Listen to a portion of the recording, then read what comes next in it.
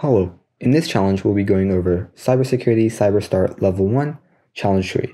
Happy customers.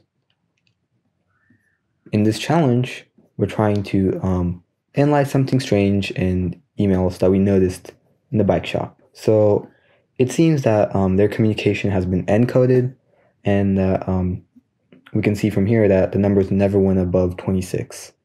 So our goal is to decode the message and trying to get the secret word, and that will be our flag.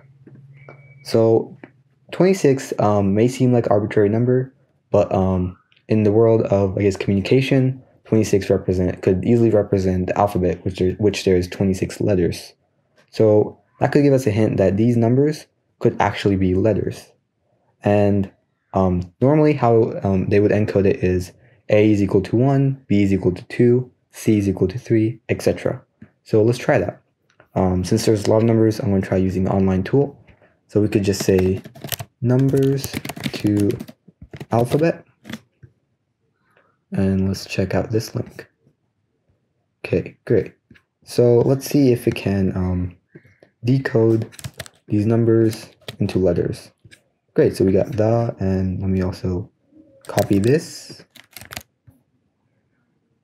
So let's paste this. So the secret, okay. And then now we also have secret, it looks like ord. And let's also get these last two. Okay. Oh, so there's a comma here.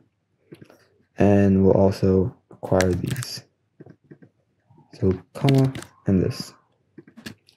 So it says the secret, um, I think it's word. This may have been mixed. Secret word is wheel. So let's type wheel and let's check it. Great. So in this challenge, we learned cryptography and encryption and decryption. See you in HQ Base Level 1 Challenge 4.